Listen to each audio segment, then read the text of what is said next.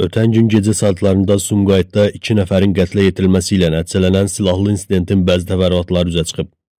Qafqaz Info xəbər verir ki, ilkin araşdırmalardan sonra qətlin münaqişə zəminində ailəyə yaxın şəxs tərəfindən törədilməsi müəyyən edilib. Hazırda həmin şəxsin yerinin müəyyən edilərək saxlanması istiqamətində iş aparılır. Bildirilir ki, silahlı şəxs gecə saatlarında Sumqayıtda 16-cı mikrorayonda yerləşən fərdi yaşayış evinə gəlib. O, evə hücum edərək Dağbəyi Fərəcovu və onun qızı Suzanna Karakaşı güllələyərək qətlə yetirib.